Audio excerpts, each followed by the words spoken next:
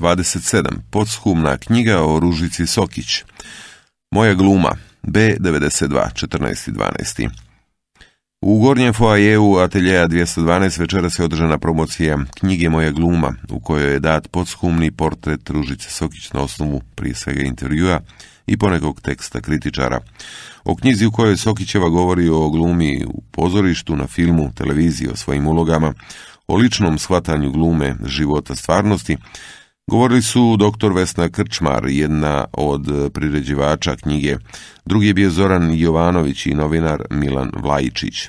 Skup održan na rođendan Ružice u pozorištu u kome je bilo od početka karijere do penzije, otvorio aktuelni upravnik atelja 212, poznati glumac Branimir Brstina, koji je sa mnogo topline govorio o svojoj decenijskoj koleginici, podsjetivši na njenu potpunu posvećenost glumi.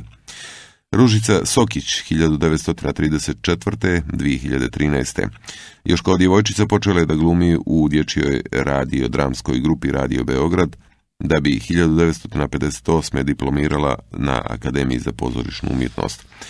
Bila je među prvim stalnim glumcima ateljeja koji su ga stvarali. Za to vrijeme odigrala 60 uloga u teatru i 40 na filmu, kao i veliki broj u TV dramama, istakao je Brstina. Dr. Vesna Krčmar je navela da su tekst za knjigu sklopili pomoću 250 intervjua i velike količine novinskih kisječaka. Razgovori sa novinarima su se često pretvarali u dijalog sa sobom jer se preispitivala, a sebi sagovorniku otkrivala mnoge faze svog života, kazala je Krčmarova. To je prema njenim riječima slovita priča o glumi u sto i promišljanje o glumi poetici filma pozorišta, ali i o događajima u bivšoj zemlji, karakterima i postupcima kolega iz pozorišnog i filmskog svijeta. Knjigu upotpunjuje, navela je Vesna Krčmar, bibliografija radova, registar predstava i uloga, izvodi iz kritike i mnoštvo fotografija, a dijelo iskrene ljubavi prema glumici njenih prijatelja koji su željeli da sačuvaju sjećanje na umjetnost Ružice Sokić. Priređivači su knjigu Moja gluma nazvali dragocjenim vodičem kroz istoriju srpskog glumišta i uzbudljivo pozorišno štivo koje zaviruje iza scene oslikavajući glumačke svjetove do kojih oko gledalca ne može da dopre.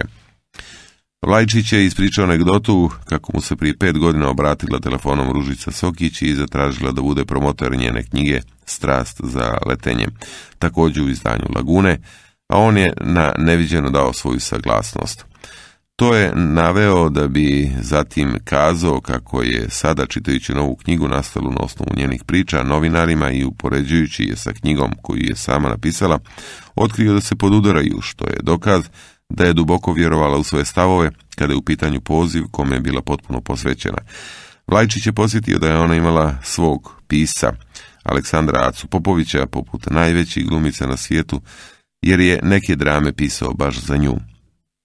Njega je dirnulo sa koliko poštovanja govorilo o svojim kolegama, sa građanskom otmenošću i proporučio je svim mladim glumcima da pročitaju ovu knjigu.